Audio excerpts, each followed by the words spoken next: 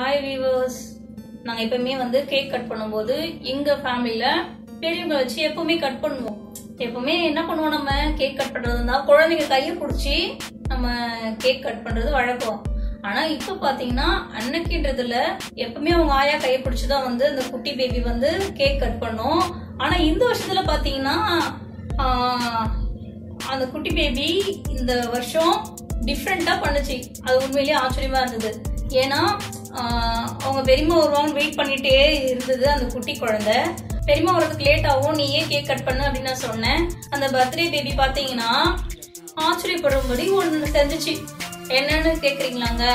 ஆமா நீங்களே வீடியோ பாருங்க. அது என்ன பண்ணுச்சுன்னு சொல்லிட்டு உண்மையிலேயே எனக்கு அது பார்த்த உடனே ரொம்ப எப்படி சொல்றது இதுக்கு? ரொம்ப ஆச்சரியப்பட்டேன் நானு. அந்த அந்த வீடியோவை நீங்களும் பாருங்க. அடுத்த வீடியோல பார்க்கலாம். C you bye